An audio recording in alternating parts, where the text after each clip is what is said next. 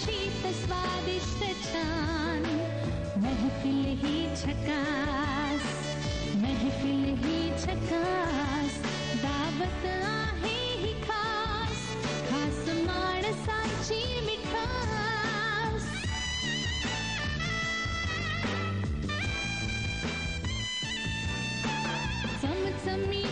पदार्थांना गप्पांची फोडणी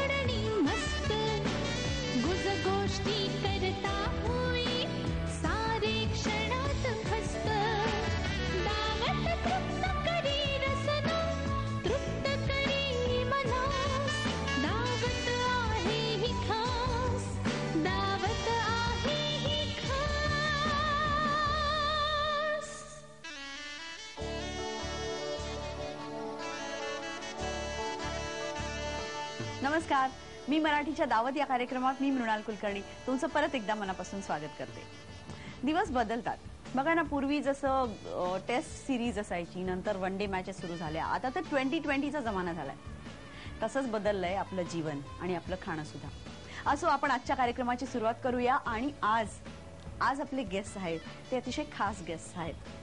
वर्षानुवर्ष तसंच राहण्याची किमया ज्याला साधलेली आहे. तो तितकाच छान दिसतो अजूनही आणि तितकीच छान कामं सुद्धा करतो. असा एक नट आज आपण बोलवलेला आहे. त्याचं नाव आहे मिलिंद गवळी. अगदी बरोबर ओळखलं. आणि एक नृत्यांगना जी जिच्या नावामुळे आपण तिच्याकडे आकर्षित होतो. तिचा डान्स बघितल्यावर आणखीच आकर्षित होतो आणि तिचे स्वप्न बघितल्यावर तर आपल्याला तिला ऑल द बेस्ट म्हणवल्याशिवाय राहत नाही. अशी एक बेस्ट डान्सर दीपाली सय्यद हे आहेत माझे आजचे गेस्ट चला तर त्यांना भेटूया. एपिसोडच्या सुरुवातीलाच मी तमाम महाराष्ट्रातल्या प्रत्येक माणसाच्या मनात असलेला प्रश्न मिलिंदला विचारणार आहे. मिलिंद तुझं वय काय? आ, माझं वय म्हणजे अ, तसं मी लहान आहे कारण मी अ, मुलाचा रोल केला होता. माझं नाही माझ्या नातवाचा. नाही मुलाचा होता. नाही, मी मग इतका लहान नाही कदाचित पण असेल. नाही पण रोलवर काही डिपेंडंट नसतं ना ऍक्च्युली आपण कोणी कोणाचंही कसलेही रोल करतो. तुझं वय काय? माझं वय म्हणजे अ, मी सांगू? मी जन्माला आलो तेव्हा पूर आला होता. कोणता? किती सालचा पूर आला होता? किती सालीचा होता बरं? तो, अ, मला माहीत नाही कारण मी आता सध्याच फिल्म केली मिलिंद बरोबर त्यामुळे सध्या मला काही कल्पना नाही. विचारतो कारण ना मिलिंद तू त्यावेळेला खरंच सांगणार नाहीस नाही मी सांगणार आहे. पण मला आठवलं की. ट्वेंटी फाईव्ह आय थिंक है ना? एवढा मोठा आहे. मी पंचवीस म्हणजे? खरोखरच ज्या अभिनेत्यांनी आजपर्यंत गेली कित्येक वर्ष आपण सगळे त्याला बघतो आणि तो जसाच्या तसा दिसतो. आणि याच्यात एक कणाचीही अतिशयोक्ती नाही. असा मिलिंद गवळी आज आपल्याकडे. आहे. मिलिंद वय सांगू नकोस ओके ठीक आहे. पण तुझ्या फिटनेसचं रहस्य काय? का? तुला ही दैवी देणगी आहे. वॉट एक्झॅक्ट ऍक्च्युली दोन्ही म्हणजे एक तर माझी आई खूपच लहान दिसते आणि ते वय दिसत नाही तिचं. म्हणजे ती माझी आई असल्यामुळे बहिणीसारखीच दिसते. त्यामुळे ते जीन्स आले असतील. अजूनही? हा. आणि हा व्हेजिटेरियन आहे बेसिकली आणि अ, मला असं वाटतं healthy food is also one of the reason की आपण जे खातो ते रिफ्लेक्ट होतं तुमच्या बॉडीमध्ये तर आय थिंक ते कारण असू शकतं. पण पहिल्यापासून हेल्दी फूडची हवं हो म्हणजे कधीच असं वडापाव आणि भजी आणि नाही, वडापाव हा आणि भेळ आणि वडा बर्गर्स. वडापाव हा माझा फेवरेट डिश पैकी. मला जर अजूनही अजूनही कोणी विचारलं तर वडापाव हा खूप जुन्या आठवणी आहेत वडापावच्या शाळेतल्या.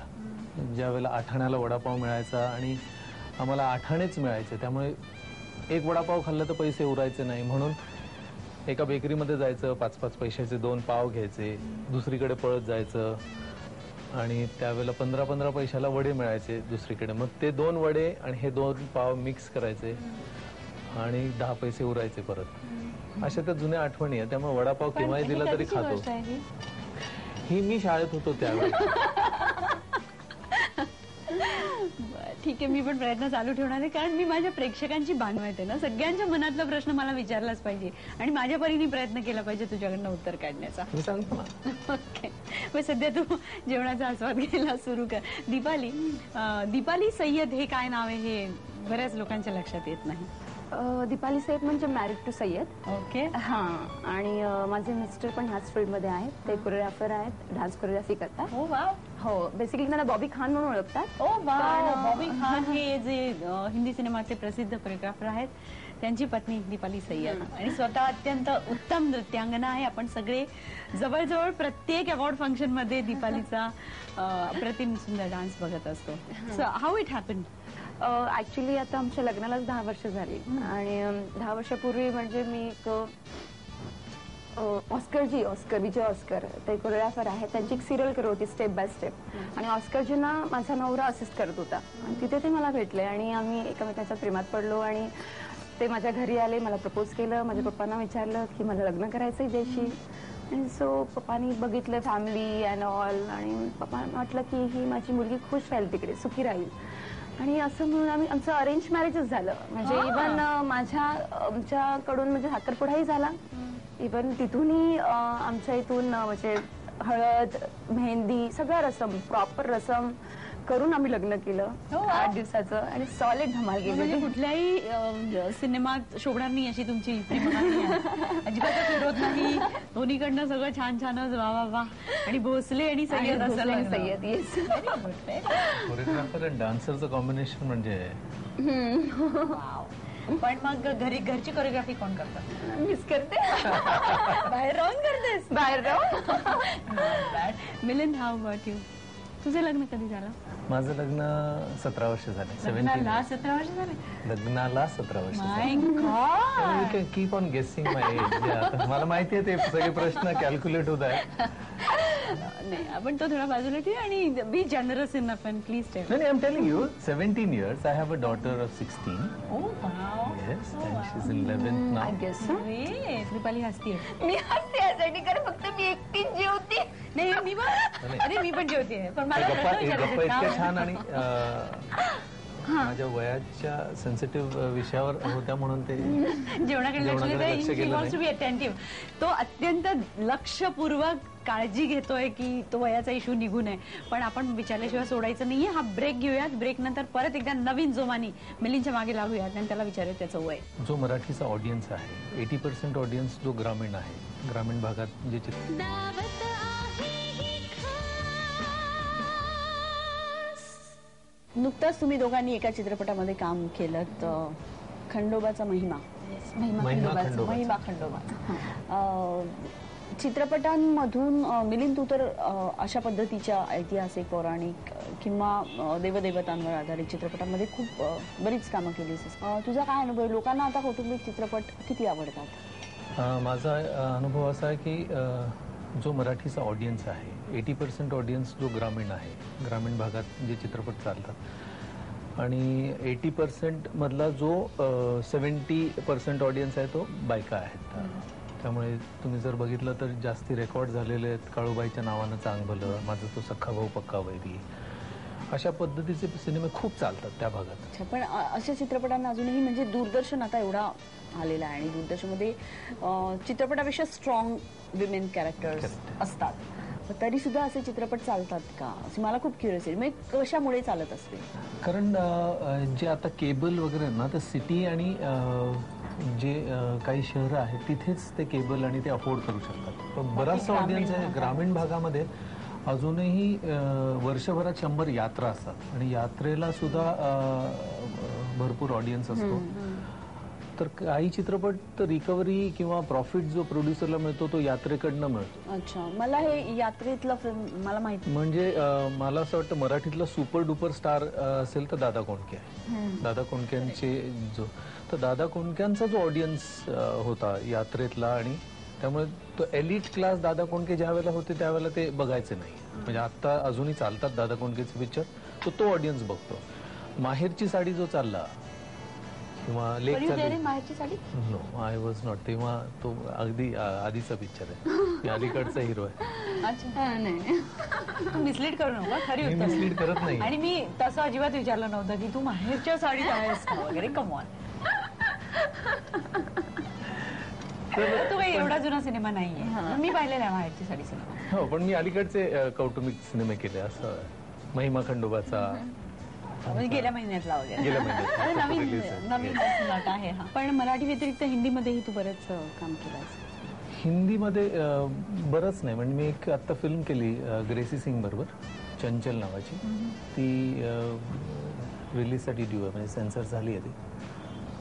त्याचं परत कौटुंबिक अं, सिनेमा आहे तो. आणि कदाचित म्हणूनच त्याला डिस्ट्रीब्युटर अजून मिळत नाही असं काय? इन्शाला लवकर मिळून जाईल. अं, तू पहिल्यापासून डान्सर व्हायचं असं तुझं ठरलं होतं? बेसिकली मी लहानपणापासूनच डान्स करते. तीन वर्षाची होती तेव्हाच अ, भरतनाट्यम शिकायला सुरुवात केली होती. मग कथक केलं. मोहिनीअट्टम कथकलीमध्ये बी एफ ए केलं मी नालंदा युनिव्हर्सिटीमध्ये. आणि ते करता करताच अचानक इंडस्ट्रीमध्ये आले. अचानक सिरियल्स केल्या फिल्म्समध्ये वळले. आणि अ, इथे आल्यानंतर आणखीन माझ्या डान्सला स्कोप जास्त मिळाला आणि प्रत्येक इव्हेंट्समध्ये मी दिसते. आता इवन फिल्म्सही बर बऱ्याच फिल्म्स करते आता. आता ह्याच्याबरोबरच दोन फिल्म्स केल्यात मी ऑलरेडी एक केली होती हिरवा चुडा म्हणून. आणि त्याच्यानंतर आता एक फिल्म येते महिमा खंडोबाचा. बरत बरं आता जस्ट एक रिलीज झाली होता मुंबईचा डबेवाला. आणि लग्नाचा धुमधडाका चतुर्नवरा चिकणी बायको. ह्या स्टाईलची फिल्म्स करते. तुला स्वतःला कोणतं फील्ड जास्त आवडतं? म्हणजे तू आता क्लासिकल डान्स शिकली. नालंदा Yes. युनिव्हर्सिटी ठिकाणी तर क्लासिकल डान्स आवडतो जास्त फिल्म डान्स आवडतो.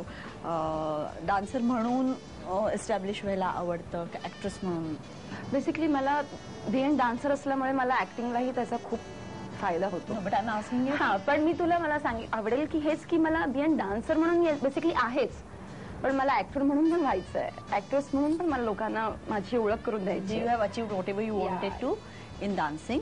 Yes. Now it's one step ahead. लवकरच तू खूप मोठी ऍक्ट्रेस म्हणून नावारूपाला येशील असं आशा करू मिलिन what are your dreams my dreams is to make films good films basically children films what what is your definition of good film which touch is your heart you remember for years and years like मला असं वाटतं आपल्या भारतामध्ये economics खूप बघितलं जातं आणि त्याच्यामुळे फिल्म्स असं टार्गेटेड चिल्ड्रन फिल्म्स नाही होत. जसं इराणियन फिल्म आहे मजिद मजिदी करतो children of heaven colour of paradise two's a very beautiful films आपल्या इथे श्वास झाला. श्वास एक छान अटेम्प्ट होता.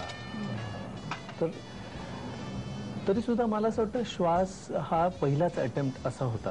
तर आता आता टिंग्या सारखी एक फिल्म आली विच इज व्हेरी टचिंग असे खूपसे आपल्याकडे सब्जेक्ट्स आहेत. We are rich in literature तर त्या पद्धतीचं आहे. आणि माझं एक ड्रीम प्रोजेक्ट आहे शिवाजीवर एक फिल्म करायची. की नाव वी कॅन मेक जसं त्यांनी जोधा अकबर केला. अँड डेफिनेटली मला वाटतं की being an Indian being a Maharashtrian ही आपली ड्युटी आहे. मला हे जेव्हा परदेशामध्ये जातो तेव्हा हे सगळं बघून खूप दुःख होतं की ते त्यांच्या जे लोकल हिरोज असतात त्यांना एवढं मोठं करतात आणि एवढं वर्शिप करतात त्यांचं. पण महाराष्ट्राने अजून शिवाजी महाराजांना तसं केलेलं नाही आणि आता करता येईल म्हणजे things will happen may be मी नाही केलं तर कोणीतरी करेलच नक्की. चला लवकरच अशी एक फिल्म होऊ चाहतोच casted बघू देत. immediately because uh, अशा हिस्टॉरिकल फिल्मला त्यांना रिप्लेसमेंट नाही कितीही प्रयत्न केला तरी मिलिंद काही दाद देत नाहीये. मी प्रयत्न चालू ठेवणार आहे. एपिसोडच्या शेवटाला तरी तो बधेल नमेल आणि स्वतःचं वय सांगेल अशी आपण आशा करूया. एक छोटासा ब्रेक घेऊया. परत भेटूया. ज्या वेळेला ती गाडी गल्लीत वळते तेव्हा बकरे आणि कोंबड्या जीव घेऊन पळतात.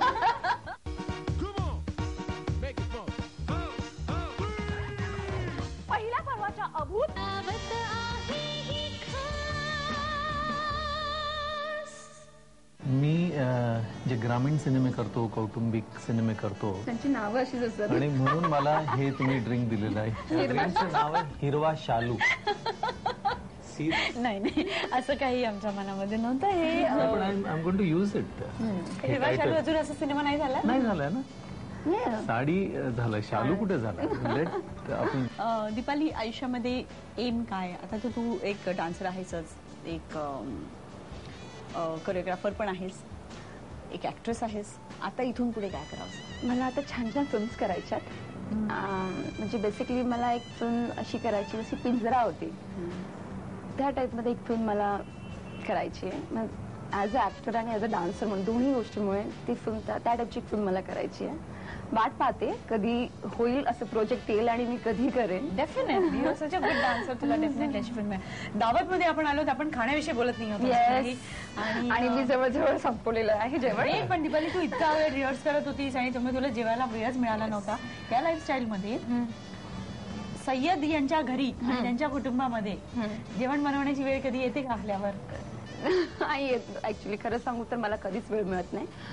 पण आय लव्ह नॉनव्हेज आणि आधी लग्न eating of course eating no cooking कारण कुकिंगला वेळच नसतो ऍक्च्युली पण तरी पण थोडंफार येतं जसं चिकनचे काही प्रकार येतात. डाळ पण येते भात पण येते. म्हणजे व्हेजिटेरियन कोणी आलं खायला तर डाळ तरी देईल तू गेलास तर मिळेल. मला चार पाच आयटम्स.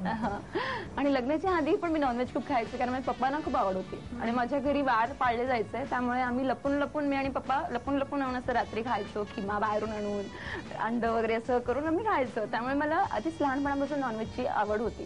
मग नंतर सय्यद झाल्यानंतर तर मग रेग्युलर नॉनव्हेज झालं आणि मग त्यांचे जे स्टाईल्स असतात वेगळा स्टाईल प्रकारच वेगळा होता. मग ते प्रकार खायला मिळाले बेसिकली आणि खूप छान छान कबाब भुना चिकन भुना मटन अँड घोष आणि काय लवली बिर्याणी. त्यामुळे आता त्याची अट्रॅक्शन आहे मला आता हे सगळं अट्रॅक्शन आहे गोवानीज कारण मी स्वतः बनवत नाही. मला बनवायचंही आहे पण वेळ नाही मिळत. पण मला वाटतं की वेळ येईल तेव्हा मी स्वतः कुकिंग करेन. किचनमध्ये.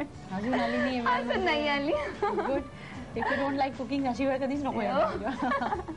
अं, घरात सगळ्यात जास्त who who cooks the best अं, माझी मम्मी म्हणजे माझी सासू.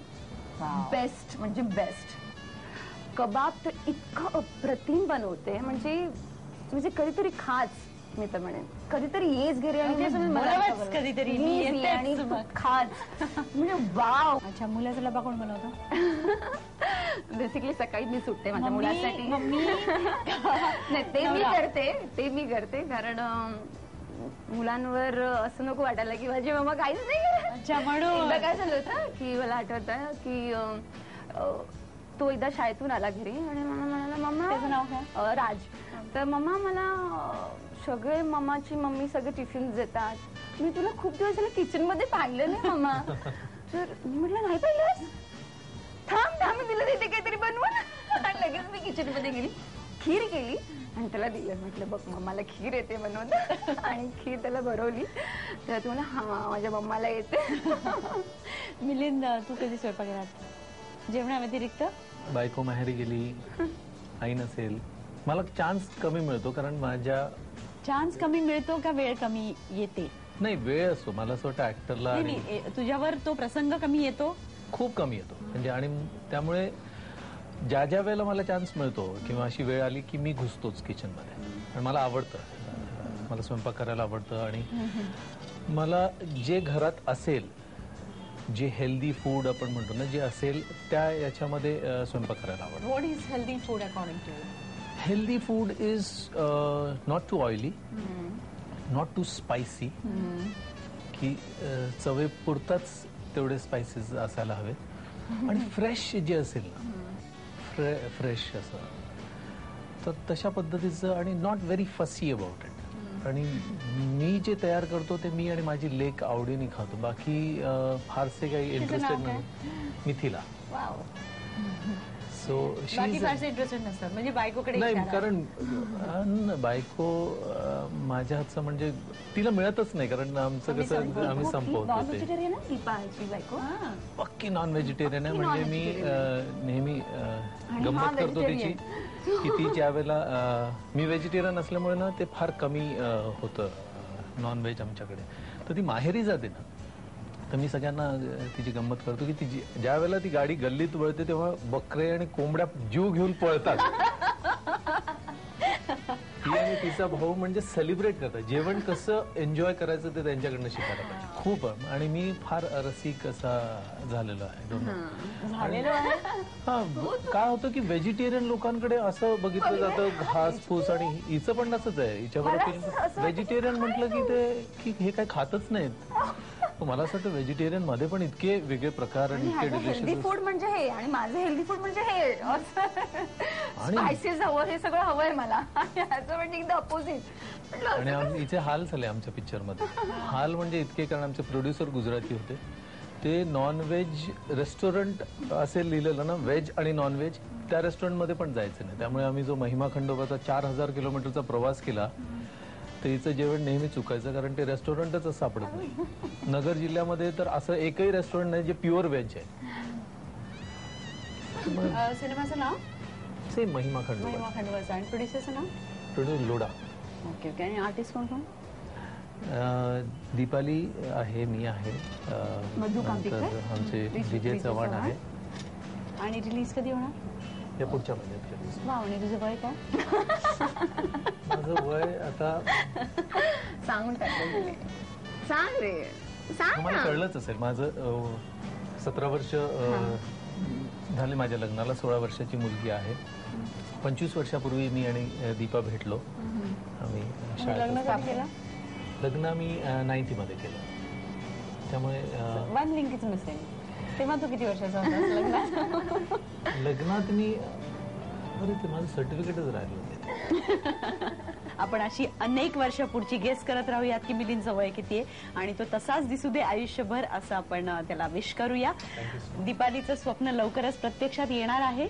She is already on that path आणि अनेक नृत्यांनी ती तिने जशी आपल्याला मोहिनी घातलेली आहे तशाच खूप चांगल्या भूमिकांमधून सुद्धा ती आपल्यासमोर येणार. या दोघांना आज दावतमध्ये आल्याबद्दल आणि माझे आमंत्रण माझं आमंत्रण स्वीकारल्याबद्दल मी मनपूर्वक धन्यवाद देते. Thank you so much I really enjoy being with it was a pleasure good food good ambience and good company thank you thank you so much